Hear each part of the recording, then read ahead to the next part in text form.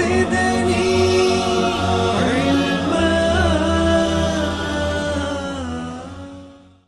Assalamualaikum warahmatullahi wabarakatuh.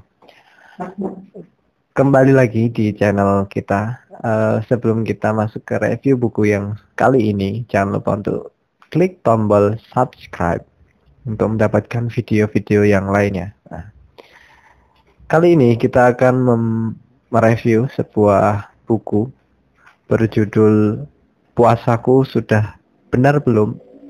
Buku bertemakan puasa yang ditulis oleh Ustadz Fahrul Muiz dan Ibnu Ali Marfu'i. Ini diterbitkan oleh penerbit Takia. Di mempunyai ukuran 14 kali 27 cm dengan ketebalan 174 halaman. Kemudian apa yang menjadi isi dari buku ini? bisa kita buka untuk halaman yang awal. Buku ini dicetak pada kapannya ini ya? Langsung saja ke daftar isi. Di daftar isi, jadi inti dari buku ini adalah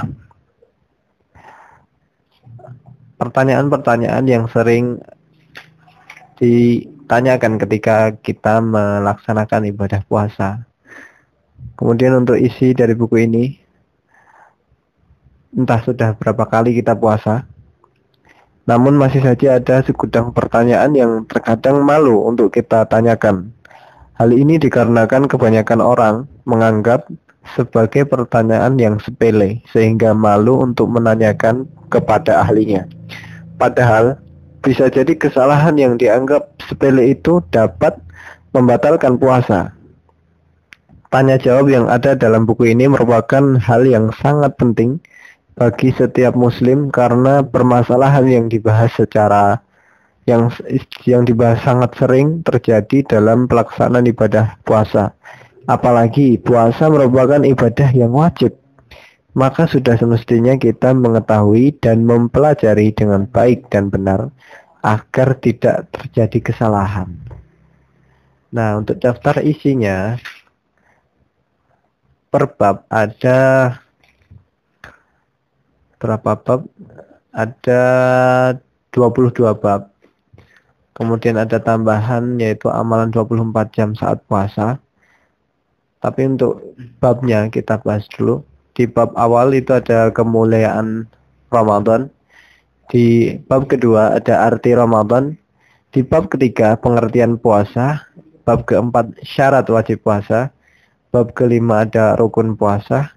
Di bab keenam ada perkara-perkara yang membatalkan puasa.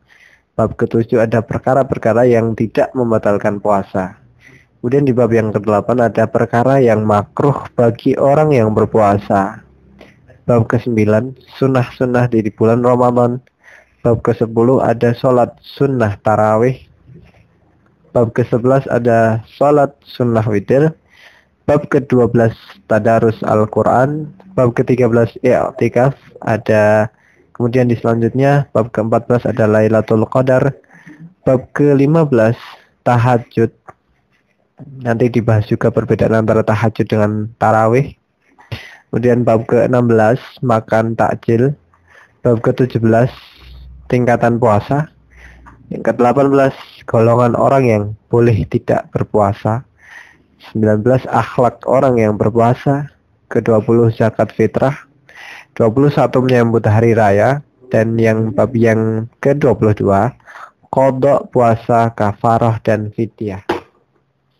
Kemudian tambahannya ada amalan 24 jam saat kita berpuasa itu ada 23 amalan yang dibahas di dalam buku ini. Tentunya dengan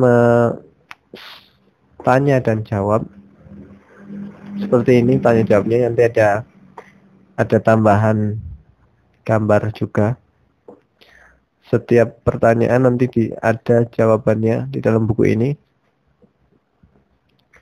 Kemudian untuk tambahan tadi untuk amalan 24 jam saat puasa jadi dibahas seperti ini per, per nomor pembahasan yang detail dan rinci sampai yang terakhir.